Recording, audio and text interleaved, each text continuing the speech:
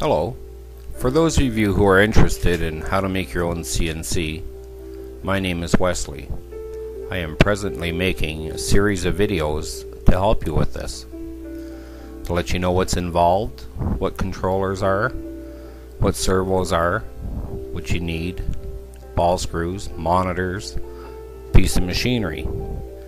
This machine was once a new 14 by 40 lathe, just a straight engine lathe. Today, she's a fully converted CNC using Mach motion controls and Mach 3 software. Something I believe that anybody can do. Having built several CNCs, I was asked to share my experiences with everyone.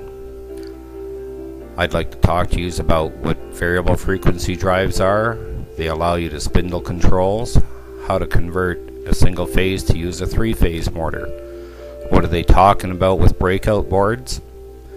What does a breakout board do? Why you need a control panel and what's involved in the control panel. Drivers.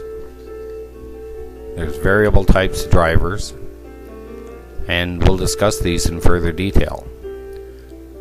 You have to strip down your machine and insert ball screws in place of the Acme screws. This is a step by step that I'm going to be doing with everyone. Once you've got your ball screws in, or once they're ordered and in, you have uh, many different suppliers that can supply you a ball screw and a nut. They've got to be machined and brought into perspective so that they'll fit right back where the other lead screw was.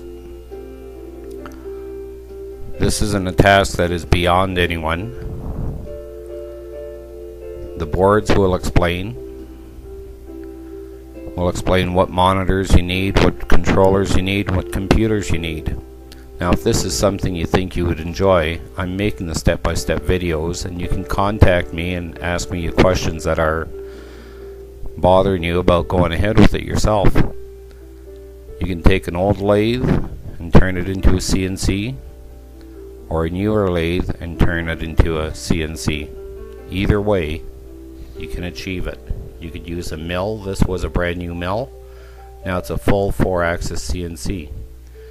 If you feel you can benefit from this, feel free to contact me. Let me know what you want, what you'd like to have. I'd be more than pleased to help you. Thank you.